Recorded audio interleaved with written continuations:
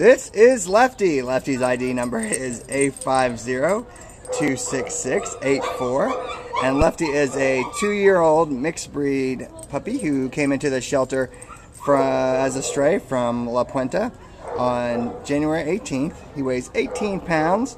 Um, it's just a really sweet, adorable, cuddly guy. Um, he's actually, my camera batteries have died a few times, so he's just been sitting here for like the last uh, probably 10 minutes now, just in a lap, getting love.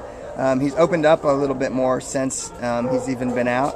Uh, he shows signs of being housebroken and definitely shows signs of being a cuddle buddy.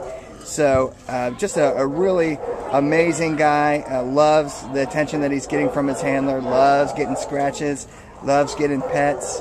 Um, would make a great uh, dog in almost any home. Uh, it seems like he would get along great uh, as a as a family dog, and just really really sweet guy.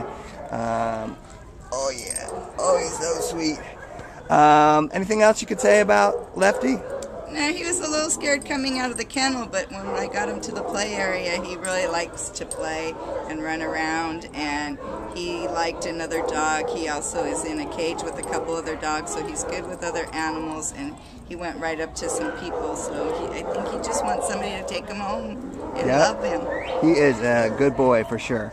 So come on down to the Baldwin Park Shelter, meet Lefty, and uh, meet your new lifelong cuddle buddy. Good boy.